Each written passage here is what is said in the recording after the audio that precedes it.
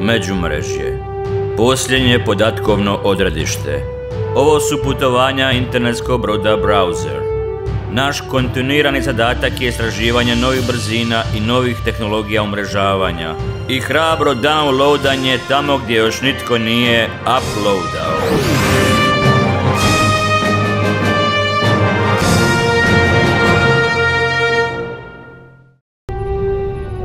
Kapetane, presreće nas nepoznati brod. Zovu nas. Stavite ih na veliki ekran. Kapetane, njihov brod koristi kolačiće. Hoćemo li ih prihvatiti? Ni slučajno. Virusi. Ne, šećer. Nepoznati brod govori vam kapetan. Kapetane, e, treba kliknuti na ovo. E, Možda je pitanje života ili smrti. Ne, to su trojanci. Oni nam uvijek rade nešto iza leđa. Upalite ad blokere.